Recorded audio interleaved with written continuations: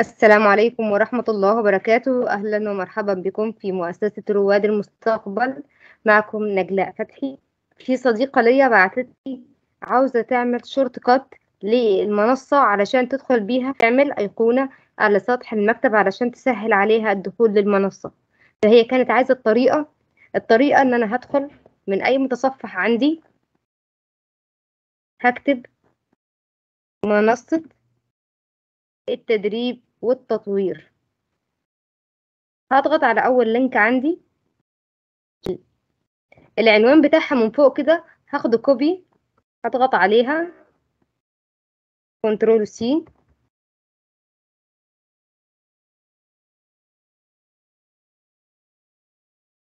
هضغط هنا click يمين. هختار new هختار shortcut هعمل هنا paste للعنوان اللي أنا خدته. control V هختار next عايز تكتب اسمها إيه ال shortcut ده؟ هكتب منصة تدريب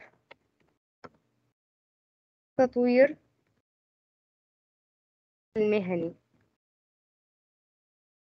هضغط على فينش نروح سطح المكتب اهي ظهرت عندي هضغط عليها.